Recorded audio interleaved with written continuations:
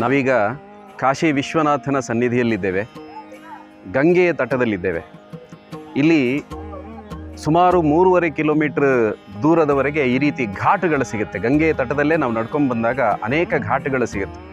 ಮೊನ್ನೆ ಪ್ರಧಾನಮಂತ್ರಿ ಮೋದಿಯವರು ಉದ್ಘಾಟನೆ ಮಾಡಿದಂಥ ಗಂಗಾ ಕಾರಿಡಾರ್. ಅದು ಈಗ ಗಂಗಾ ಕಾರಿಡಾರ್ನಲ್ಲಿ ನಾನೀಗ ನಿಂತಿದ್ದೀನಿ. ಇದು ಗಂಗಾ ನದಿ, ಇಲ್ಲಿಂದ ಹಾಗೆ ಮೇಲ್ಗಡೆ ಸುಮಾರು ನಾಲ್ಕುನೂರು ಮೀಟರ್ನಷ್ಟು ಉದ್ದದ ಗಂಗಾ ಕಾರಿಡಾರ್ ಯೋಜನೆಯನ್ನು ಮಾಡಿದ್ದಾರೆ. ಬಹುಶಃ ಈಗ ನೋಡುವಾಗ ಇಲ್ಲಿ ವ್ಯವಸ್ಥೆಗಳು ಹೇಗಿದೆ ಅಂತ ನಮ್ಗೆ ಅರ್ಥ ಆಗುತ್ತೆ. ಮೊದಲು ಇಲ್ಲಿ ಗಂಗಾ ನದಿಯಲ್ಲಿ ಸ್ನಾನ ಮಾಡಿದರೆ ಇಲ್ಲಿಂದ ಮೇಲೆ ಕಾಶಿ ವಿಶ್ವನಾಥನ ದೇವಸ್ಥಾನ ಇರುವಂಥದ್ದು ದರ್ಶನಕ್ಕೆ ಹೋಗಬೇಕಾದ್ರೆ ಬಹಳ ಕಷ್ಟಪಡಬೇಕಿತ್ತು. ಇಲ್ಲಿ ಹೋಗೋದೇ ಬಹಳ ತ್ರಾಸ ಪಡಬೇಕಿತ್ತು. ಅದನ್ನು ಮೋದಿಯವರು ಬಹಳ ವ್ಯವಸ್ಥಿತವಾಗಿ ಇಲ್ಲಿ ಮಾಡಿ ಗಂಗಾ ಕಾರಿಡಾರ್ ಯೋಜನೆಯನ್ನು ಮಾಡಿರ್ತಾರೆ. ಗಂಗಾ ಕಾರಿಡಾರ್ ಸುಮಾರು ನಾಲ್ಕುನೂರು ಮೀಟರ್ ಉದ್ದ ಇರುವಂಥದ್ದು. ಈಗ ಇಲ್ಲಿ ಕಾಣ್ತಾ ಇರುವಂಥ, ಎದುರುಗಡೆ ಕಾಣ್ತಾ ಇರುವಂಥ ಗೋಪುರ, ಈ ಗಂಗಾ ಕಾರಿಡಾರ್ನ ಗೋಪುರ ಇದು. ಇಲ್ಲಿಂದ ನಾವು ಮೇಲಕ್ಕೆ ಹೋಗಿ ಮತ್ತೆ ಕಾಶಿ ವಿಶ್ವನಾಥನ ದರ್ಶನ ಮಾಡಲಿಕ್ಕಿರುವಂಥದ್ದು. ಮಂದಿರದ ಸುತ್ತಲಿನ ಮುನ್ನೂರಕ್ಕೂ ಅಧಿಕ ಆಸ್ತಿಗಳನ್ನು ಅವರು ಹೇಳಿದ ಬೆಲೆ ಕೊಟ್ಟು ಖರೀದಿಯನ್ನು ಮಾಡಿ ಮಂದಿರ ಪುನರ್ನಿರ್ಮಾಣದ ಕಾರ್ಯ ಪ್ರಾರಂಭಿಸಿದರು.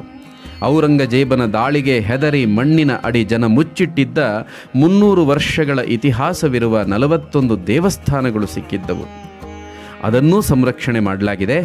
ಔರಂಗಜೇಬನ ಕಾಲದಲ್ಲಿ ಮುಚ್ಚಲ್ಪಟ್ಟಿದ್ದ ಆ ದೇಗುಲಗಳು ನರೇಂದ್ರ ಮೋದಿಯವರ ಕಾಲದಲ್ಲಿ ಸೂರ್ಯ ರಶ್ಮಿಯನ್ನು ಕಾಣ್ತಾ ಇದ್ದಾವೆ.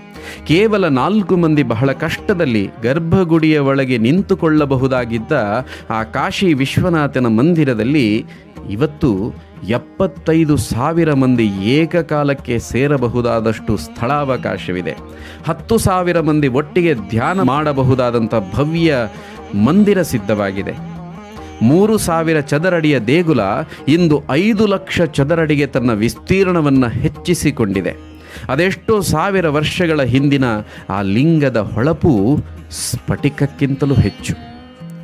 ಕಾಶಿಗೆ ಗಂಗೆಯ ಆಗಮನವಾಗುವುದಕ್ಕಿಂತಲೂ ಪೂರ್ವದಲ್ಲಿ ವಿಶ್ವೇಶ್ವರನ ಅಭಿಷೇಕಕ್ಕೆಂದು ಜಟಿಲ ಅನ್ನುವ ಋಷಿಯೊಬ್ಬರು ತೀರ್ಥವೊಂದನ್ನು ಸೃಷ್ಟಿಸುತ್ತಾರೆ. ಅದೇ ಜ್ಞಾನವಾಪಿ ಬಾವಿ. ಈಗಲೂ ತನ್ನ ಒಡಲಲ್ಲಿ ನೀರನ್ನು ತುಂಬಿಕೊಂಡು ನಳನಡಿಸ್ತಾ ಇದೆ. ಗರ್ಭಗುಡಿಯ ಪಕ್ಕದಲ್ಲಿ ಆ ಬಾವಿಯನ್ನು ನಾವು ನೋಡಬಹುದು. ಮತಾಂಧರ ಆಕ್ರಮಣವಾಗುತ್ತದೆಂದು ತಿಳಿದ ತಕ್ಷಣ ಮಂದಿರದ ಅರ್ಚಕರು ಮೂಲ ಲಿಂಗವನ್ನು ಈ ಬಾವಿಯಲ್ಲೇ ಬಚ್ಚಿಡ್ತಾ ಇದ್ದರು. ಹಾಗಾಗಿ ಇಂದಿಗೂ ಆ ವಿಶ್ವೇಶ್ವರ ಜ್ಯೋತಿರ್ಲಿಂಗ ಭಗ್ನವಾಗದೆ ಉಳಿದಿದೆ. ತನ್ನ ಹೊಳಪನ್ನು ಉಳಿಸಿಕೊಂಡಿದೆ. ಪ್ರತಿ ಅಮಾವಾಸ್ಯೆಯಂದು ಸೂರ್ಯೋದಯಕ್ಕೂ ಮುನ್ನ ಆ ಪವಿತ್ರ ಜ್ಯೋತಿರ್ಲಿಂಗವನ್ನು ಮುಟ್ಟಿ ಕ್ಷೀರಾಭಿಷೇಕ ಮಾಡುವ ಅಪೂರ್ವ ಅವಕಾಶ ಕೆಲವರಿಗೆ ಸಿಗ್ತದೆ. ಆ ಭಾಗ್ಯವನ್ನು ವಿಶ್ವೇಶ್ವರ ನನಗೂ ಕರುಣಿಸಿದ. ಧನ್ಯನಾದೆನು ನಾನು.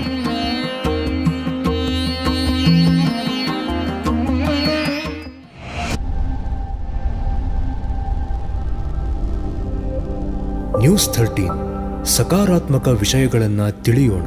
ಸಮಾಜಕ್ಕೆ ತಿಳಿಸೋಣ.